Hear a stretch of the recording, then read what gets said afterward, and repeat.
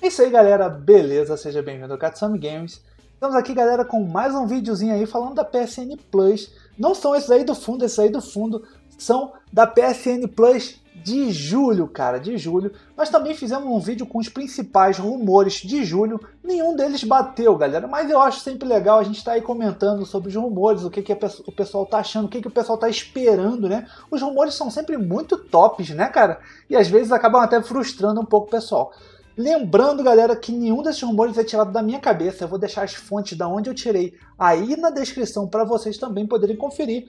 Você concorda com algum? Não concorda? Vai deixando já aí. Deixa também aí nos comentários aquele que você acha mais interessante. E vamos nessa, sem enrolação. Simbora, galera. E galera, começando aqui com The Division 2, cara. The Division 2 é um jogaço, cara, um jogaço. E esse aqui foi embalado aí no evento que teve da Ubisoft há pouco tempo aí, o Ubisoft Forward, né, cara, que foi um evento aí muito top, onde eles deram para a galera do PC ali o Watch Dogs 2, que também entrou aí na lista de rumores, mas aquelas mais informais, né, do pessoal falando, ah, pode ser que já que deram para o PC, vão dar também o Watch Dogs 2 para o PS4. Contudo, eu acho pouco provável porque ele acabou de entrar no catálogo da PS Now, né? Seria algo meio estranho se viesse o Watch Dogs. Por isso, criaram aí esse rumor né, do The Division 2, cara. Eu tenho esse jogo, acho muito bom, curto o 1 e o 2, cara, são jogos bem legais mesmo. Lembrando que o link, cara, da onde eu tirei todos esses rumores vai estar tá aqui embaixo na descrição, não é nada tirado da minha cabeça, mas se for, o que, que você acha? Eu acho uma boa opção esse joguinho aí. Já teve baratinho na PSN, eu acho que é bem viável, é possível. E vamos para a próxima aí. Bem, galera, outro rumor é o game Bloodstained, cara. Esse jogo que vocês estão vendo aí em cima.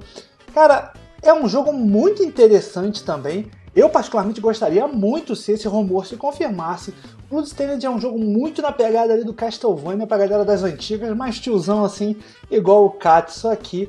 Cara, eu acho uma pegada bem legal, como vocês podem conferir aí, essa pequena gameplay aí, o trailer na verdade do jogo que tá passando para vocês. O que, que você acha? O Bloodstained é uma boa opção? E vamos lá para a próxima.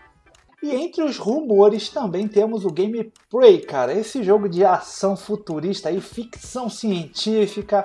Um jogo assim bem interessante mesmo.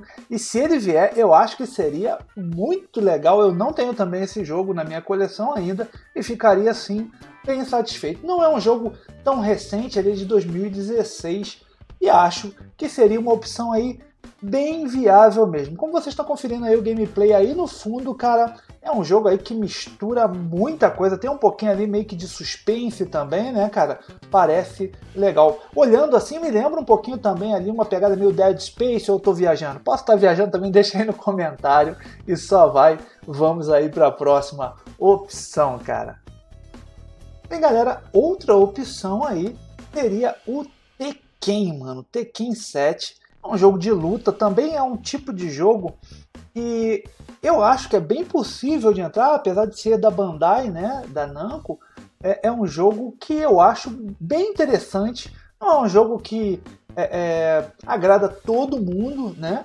Mas eu acho que seria uma opção aí bem atrativa, Tekkenzinho aí e tal, para relembrar os velhos tempos que o Katsu jogava lá nos primórdios. Seria legal aí jogar um Tekkenzinho sim. Eu não tenho esse jogo.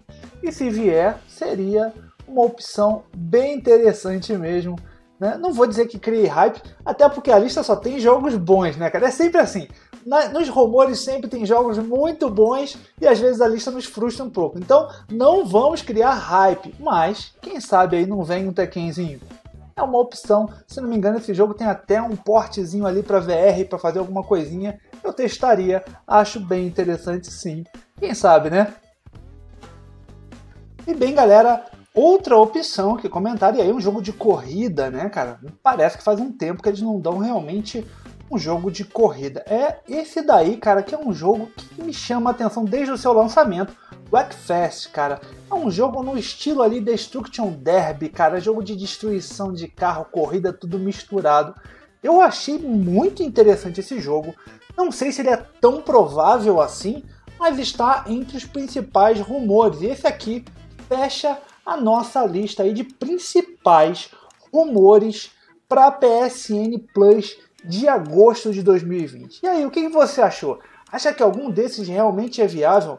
Qual seriam as suas apostas se algum desses aqui ou algum outro? Você deixa aí no comentário pra gente e a gente vai olhando, vai analisando. Gosta desse tipo de vídeo, cara, já vai largando aquele like que ajuda muito na divulgação do vídeo e do canal. Como eu disse, não é a minha intenção aqui esgotar ou dizer vai ser esse, mas trazer para vocês os principais rumores. Eu particularmente acho bem legal. Se você curte, deixa o like. Não é inscrito ainda, é uma ótima hora para isso.